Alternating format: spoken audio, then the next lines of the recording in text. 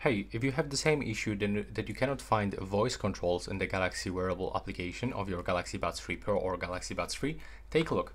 Uh, I'm using on my phone my native language, this is the Polish language, and when I'm gonna enter for earbud settings, I cannot find here voice controls. It should be appears right here at the top.